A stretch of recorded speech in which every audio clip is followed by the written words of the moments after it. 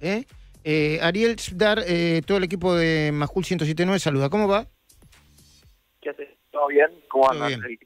Mucho, mucho ruido hizo la, la- la- la exposición de Caballo. Bien, nos gusta, nos gusta hacer ruido, así que es bueno eso. Mm. Me alegro. Mm. Eh, ¿Cómo conseguimos?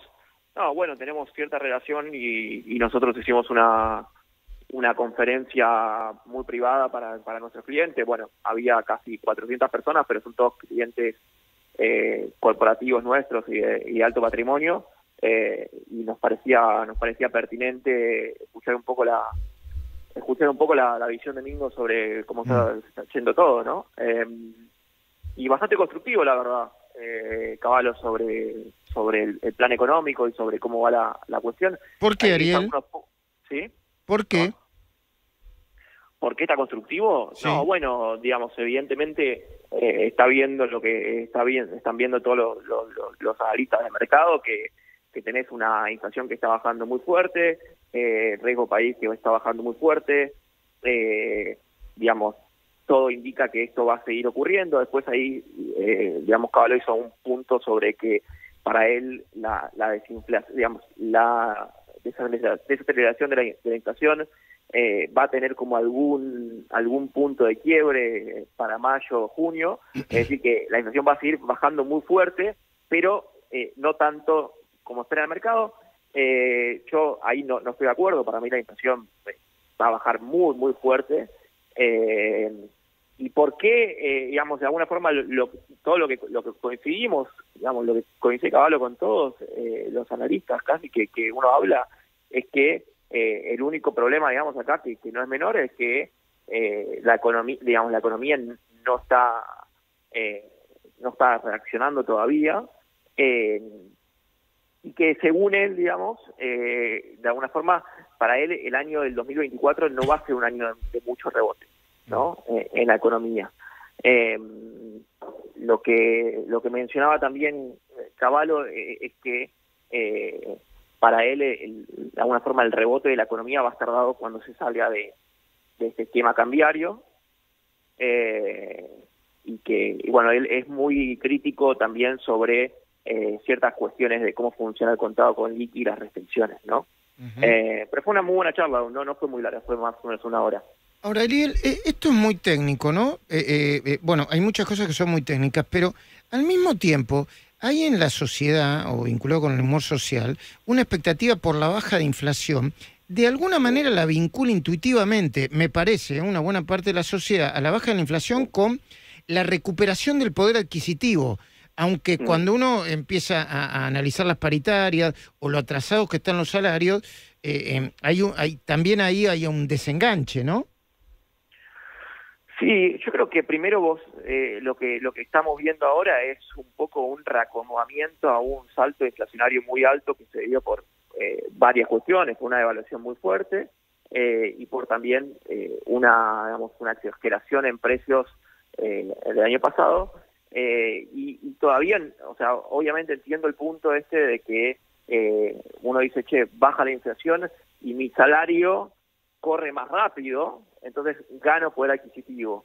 Eh, bueno, eso todavía no, no, no, no está pasando, digamos, ¿no? Eh, ¿En qué punto eso empieza a pasar? Yo no lo tengo muy claro. Mm. Evidentemente hay un punto en que la inflación casi que desaparece o es muy, muy baja eh, y, los, y, y los ajustes, digamos, en términos salariales, le, le empiezan a ganar. Eh, eso debería pasar en algún punto, yo no, no lo tengo claro cuándo. De vuelta, yo no soy eh, macroeconomista ni nada. Sí, sí, lo sí, a Caballo para que nos explique qué No. pasa, digamos. ¿no? Bueno, y, y ahora te voy a te voy a entrevistar sobre tu rubro, ¿no? Vos, evidentemente, la, la de tu empresa eh, sugiere cómo mover el dinero, ¿no?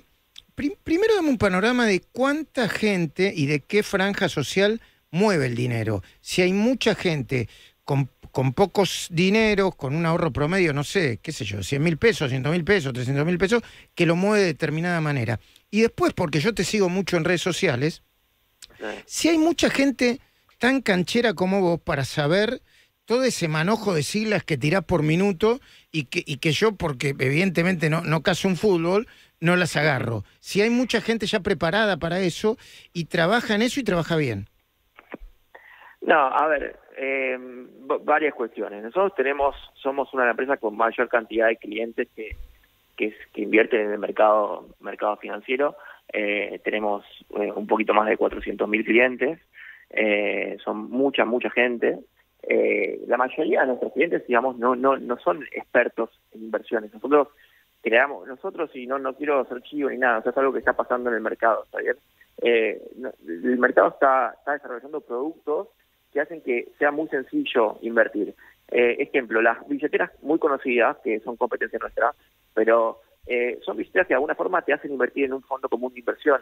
Vos ni te das cuenta, pero vos estás haciendo una, una inversión que es bastante compleja, que es la, la de un fondo común de inversión, y vos ni sabés que, que estás haciendo eso. Y eso Entonces, la mayoría de las billeteras los hacen, incluida la de Cocos, lo hacen, lo hacen eh, casi automáticamente. Claro, exactamente. Eh, entonces vos, digamos, vos decís, che, pero yo estoy, eh, no sé, me pagan algo, y vos ni te das cuenta, pero vos estás invirtiendo en un fondo común de inversión. Entonces, digamos, de alguna forma, se, hace ya un tiempo se empezaban a desarrollar estos productos que hacen que acceder a activos del mercado de capitales que antes era muy complicado, muy complejo, y que son idiomas, viste, que uno no entiende, códigos y demás, cada vez son más sencillas. Eh, el porcentaje de, de, de, mi compañía y del total del mercado que entiende, eh, o no te digo que sabe lo que para dónde va a ir la cosa, porque si no, yo no sé ni no tengo ni idea para dónde va a ir la cosa, pero eh, entiendo ciertos instrumentos y demás, es muy bajito. Eh, ahora hay millones de inversores en el mercado financiero argentino y cada vez hay más, pero a través de... ¿De qué nivel? ¿De qué nivel? ¿Con qué poder adquisitivo? ¿Cuánto invierte? No, hay, de todo, hay de todo. Hay gente que invierte 10 mil pesos, mm. 50 mil pesos. Eh, pues, digo, nosotros tenemos gran, gran cantidad de gente, te hablo de decenas de miles de personas que invierten 10, 20, 30 lucas. Mm. Eh, ¿Por qué? Porque, bueno, de alguna forma, tanto en pesos Se como protegen. en dólares... ¿Cómo? Se protegen. Se protegen. O sea, la, la, uno tiene, eh, tiene que entender que, la y, y, de hecho, hoy en día, más que nunca, Luis, lo que está pasando es que hay una licuación muy fuerte del poder adquisitivo.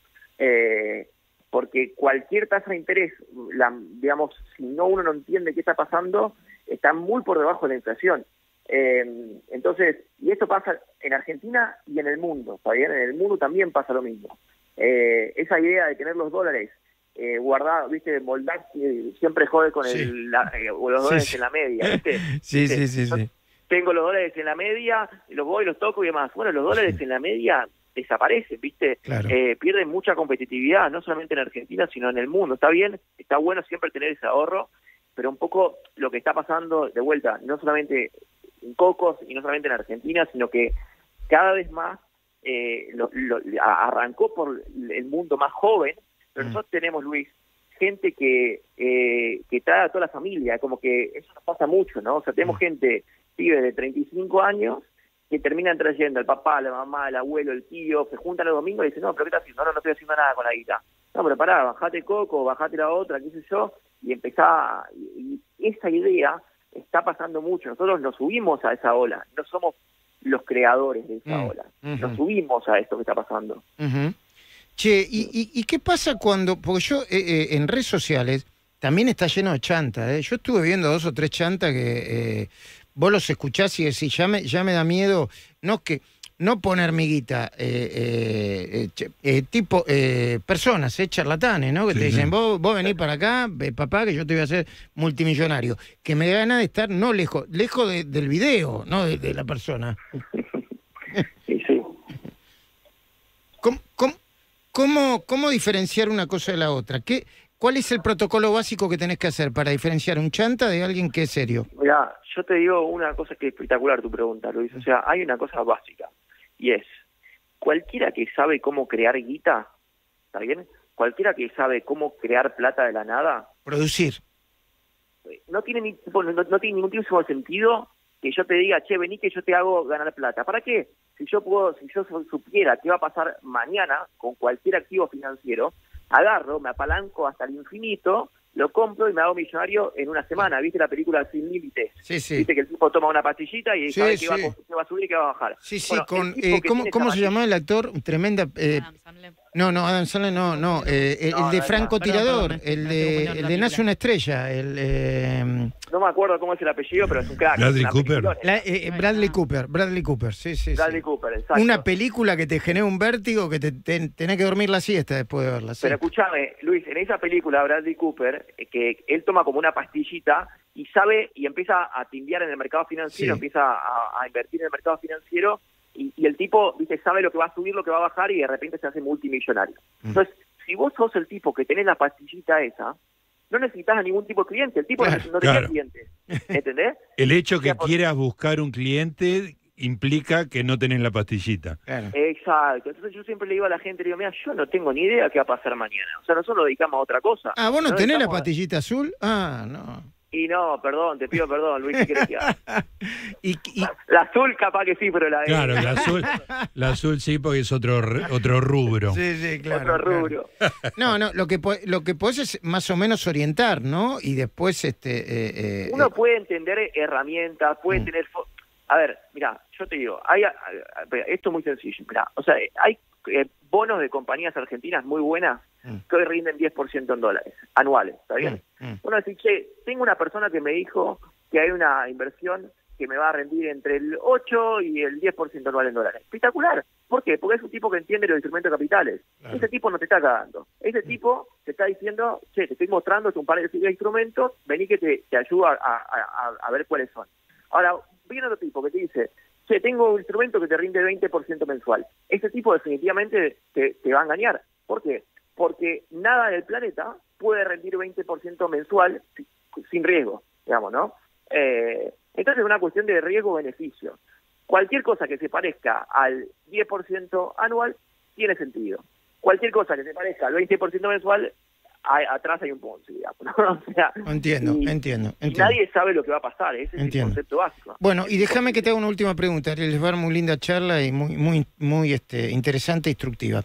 Eh, ¿Qué estás viendo vos? En, no sos macroeconomista, pero ves que el ajuste es sustentable, que hay una gran discusión entre los economistas. Che, si Sí. vos no le pagas a nadie, obviamente vas a hacer un ajuste, pero mañana vas a tener un problema. Por ejemplo, uno de los, los- los plante- uno de los planteos que se hacen, otro, eh, Escúchame, eh, tenés que pasar el peine fino por algunos lados porque esto va a estallar eh, de- eh, o socialmente o del punto de vista de la implementación. Ejemplo Sí. hoy, hospital de clínicas, ¿viste? Eh, Sí. El hospital de clínicas es un hospital escuela donde hay médicos que operan, además este, dan clases. Bueno, hay toda una serie de cosas que hace que tenga prioridad por sobre, qué sé yo, el, el show de el show de un gran artista al que pueda bancar un, un- un gobierno nacional, provincial o una municipalidad, ¿se entiende?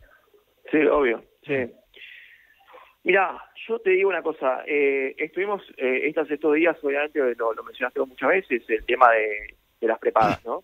Eh, y esta mañana lo escuchaba a un colega tuyo también, Sí, sí. de alguna forma cri- criticar eh, que el gobierno pierde la, los los pilares de liber- de- del libertarismo, digamos, que venían Sí, atrás. sí, ¿no? de, de- discusión, este, eh, a ver, libertad de precios. Claro, el gobierno te dice libertad de precio, libertad de precio de mercado, sí, abusos no. Bueno, claro, lo que yo digo, mira, che, a ver, esto es una muy buena noticia, digamos, ¿no? Porque, mira, si vos me decías el año pasado, eh, che, gobierna mi ley en abril de 2024, ¿cómo la ves? Yo te decía, esto es un desastre. ¿Por qué?